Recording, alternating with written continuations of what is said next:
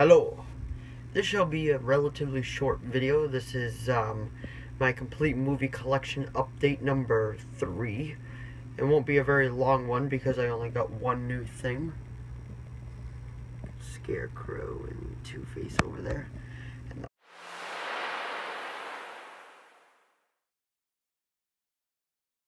One new thing that I got was Upgrade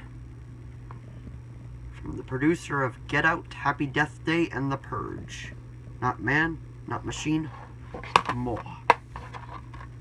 And that's what the spine looks like.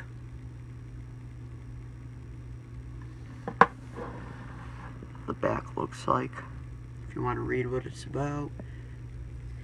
After his wife is killed during a brutal mugging that also leaves him paralyzed, Grey Trace from Spider-Man Homecoming and Prometheus is approached by a uh, billionaire inventor with experimental cure that will upgrade his body.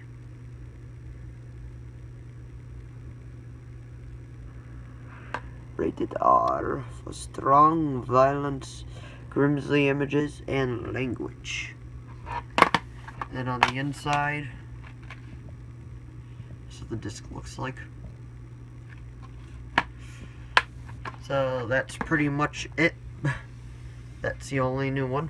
Hope you enjoyed this video. If you did, please give it a like. And maybe a subscribe if you want to see more of them. Thanks. I'll see you next time.